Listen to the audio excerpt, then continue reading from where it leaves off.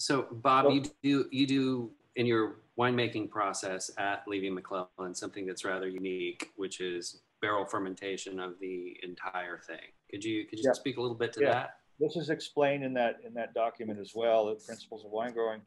But um, briefly, it was something that uh, I started working with in 1999 uh, for Bond, and we had a vineyard, one of the vineyard sites that we were working with.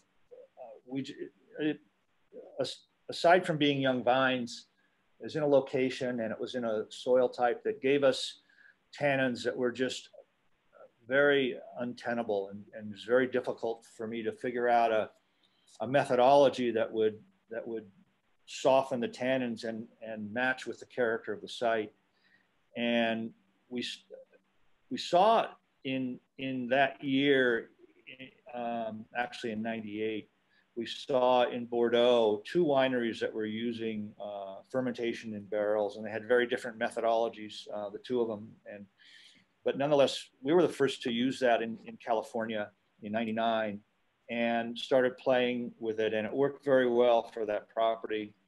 And when we had our first crop, which was in uh, 2003, but we, we didn't release that vintage, but um, we started playing with the barrel fermentation with our property because we had we'd already known at that time that it was a it was a technique, it was a winemaking skill that didn't um, you know didn't work across the whole spectrum. It, it worked better for some properties and, and some grapes than, than others, and so it was really a trial and error and, and see see what what happens.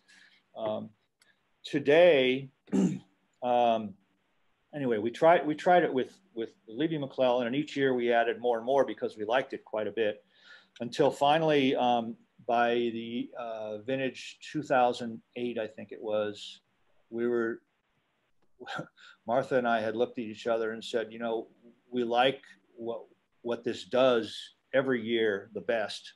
Why don't we just do 100% barrel fermentation? Now, to understand what that means, um, I have to explain a little bit uh, first of all, there's a cost involved because we were using 100% new French oak every year. And um, secondly, I have to explain that we need to we need four barrels to ferment in in order to end up with one barrel of finished wine.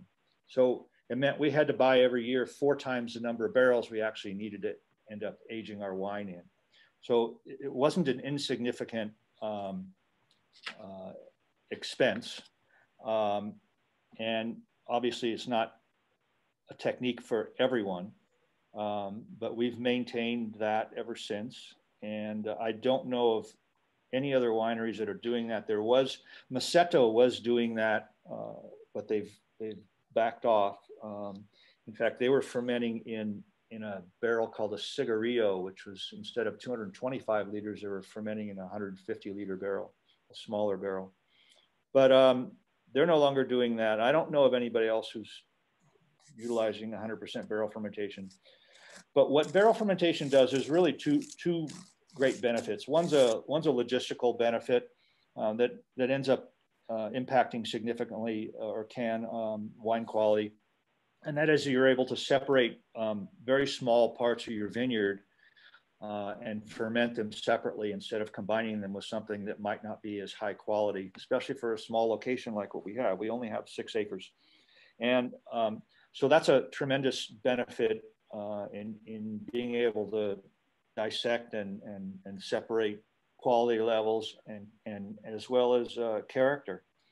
And um, the second benefit is, there's actually th three I'll go into.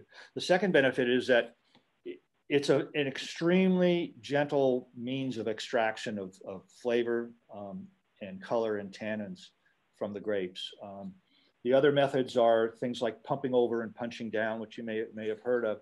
And you're moving the wine a lot and, and, it, and the, the, when, when we approach winemaking, our whole goal is to treat the wines as gently as possible to try to retain what it is we spent all, all that growing season trying to build up and not treat them roughly, not um, be aggressive with them and, and push down what, what we were so careful to build up.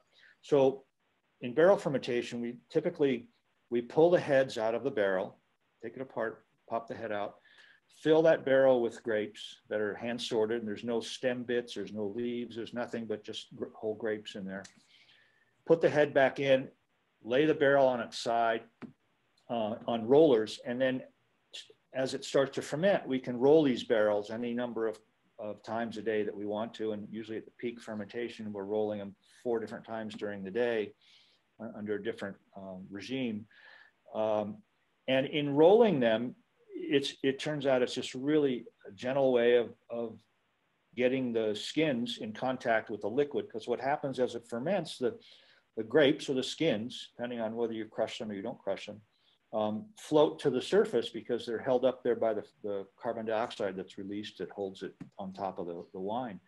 So to get the character, the flavor, the color, the, the, the tannins, you need to have an, uh, a, a mixing of those. And usually it's either punching them down, which can damage the skins, break them open, things like that, or pumping them over. And again, unless you're screening out the, the solids, you're, you're, you're, um, you're damaging them as well going through a pump. And even if you're not, you're doing a lot of aeration um, by pumping a lot each way. So it's, it's in our view, uh, and the results show this, it's not as gentle a way to extract. Um, anyway, uh, the, the third benefit is that because these are small volume um, containers, uh, there's less of a chance of runaway uh, high temperatures. We can we can put these barrels in a in a room that's uh, the exact temperature that we want to maintain and maintain a very constant um, temperature from the start to the finish. And that's a, a huge advantage uh, for something like native yeast, which is what we use, because it's native yeast tends to be very um, uh, sensitive to changes in not only temperature, but but uh, things like alcohol and we can't control the change in alcohol because as part of fermentation, um, it's, it's converting sugar to alcohol. So it is going to change. It is going to go up. It's going to make that environment harsher for the, for the yeast to grow in. But if we maintain the, a constant temperature, we're taking one